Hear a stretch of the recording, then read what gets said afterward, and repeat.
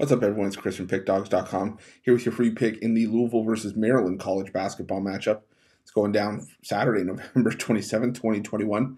Before we get to that free pick, gotta let you guys know, PickDawgz.com. We're doing it bigger and better than anyone else. We've got more free pick videos on our YouTube than you'll find anywhere else on, on any other channel. We also have that free sportsbook bonus offer, the link in the description of this video. Because, like I always say, who doesn't love getting free bets and free money? And a lot of times, well, when you have that extra tool belt on your belt, sorry, that extra tool on your belt, tool belt on your belt. That's a little bit redundant. Tool on your belt, that extra resource in your back pocket, that extra sports book.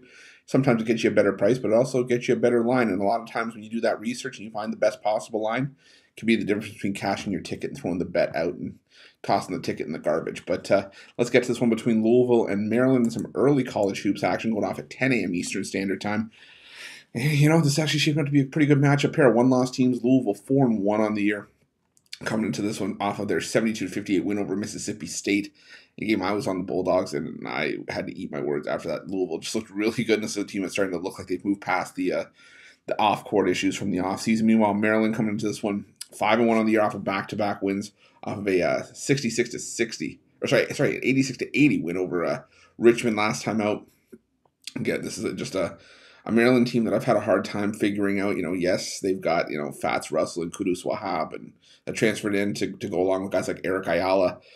But, you know, this is still a Maryland team that I, am just, I don't know. I, I, I, like the size that they brought to the tournament last year. We had five players on the cart uh, starting between six five and six seven.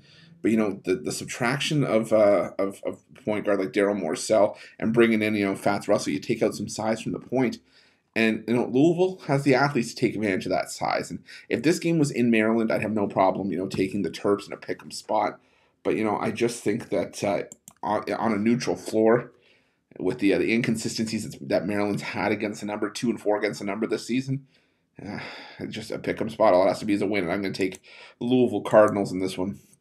And that's going to be a lean. That's going to be my free pick. But if you're looking for best bets for myself or any of our other world class handicappers, check out Pick Dawgz Premium. Also, click the link in the description below for our YouTube VIP package for more premium content. Thanks for watching. Don't forget to subscribe and drop a like. let's catch some winners.